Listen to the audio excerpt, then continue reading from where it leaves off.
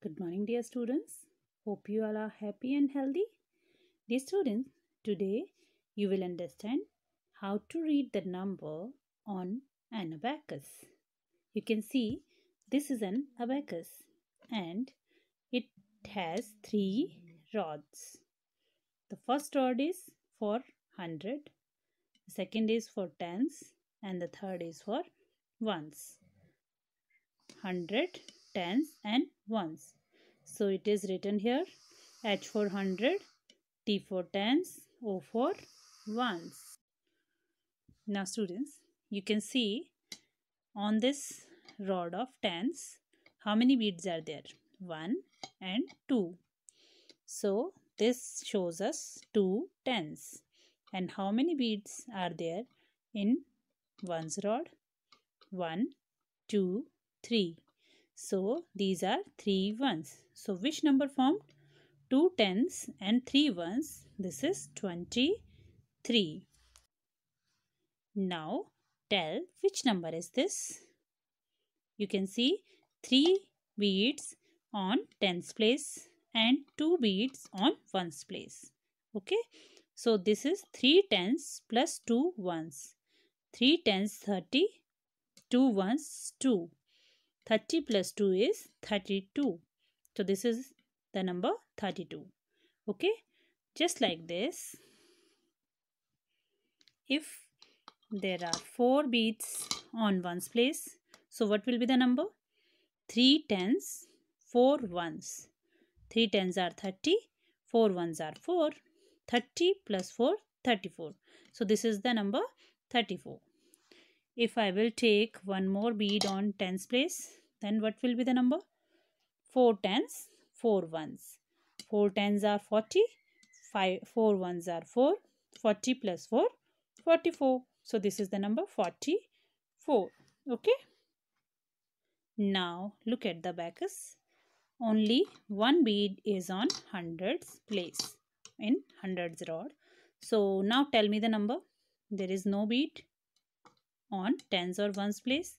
Only one bead is on hundreds place. So this is the number 100 only. Okay. No number is on tens or hundreds place. It will be 0, 0. 1, 0, 0. 100 will be this number. Okay, students. Now this is your today's work.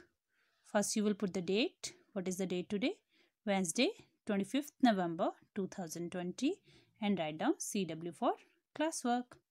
Now write, write the number as shown on the abacus. I had drawn the beads on abacus. You will tell me how many beads are on tens and ones place and what will be the number. You can see the abacus. These are the tens rod, ones rod. Okay. And you can count the beads on tens place and ones place. So let's start doing this. In this abacus, there are how many beads on tens place? 1, 2 and 3. So you will write down here 3. And how many beads are on ones place? 1, 2. So you will write here 2. So what will be the number? 32. The number is 32. Next, look at the next abacus. The two rods are here, tens and ones. So the beads on tens rod are 1, 2, 3, 4. Then you will write here 4. And how many beads are on ones place? 1, 2, 3. So you will write here 3. The number is 43. Next, look at the beads on tens place. 1, 2, 3, 4, 5. Then you will write here 5. Next, on ones place, how many beads are here? 1. So, the number is 1. What will be the total number? 51. So, the number formed is 51. Next, look at this abacus. The tens rod shows us one bead only. So the number 1 tens. And two beads on one's place or in the rod of ones. So you will write two ones. Two ones are 2. Okay, the number formed is 12. Okay, next look at how many beads on tens place? 2. And how many beads on ones place?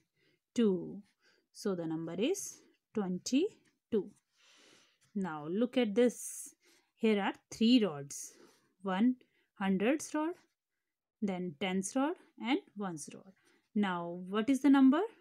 The hundreds place tells us that one bead tells us the number is 100 and here is no bead on the tens place and ones place there is no bead so you will write 0 and 0 so the number formed is 100 so just like this you will complete today's work in your notebook. And this is all for today's class.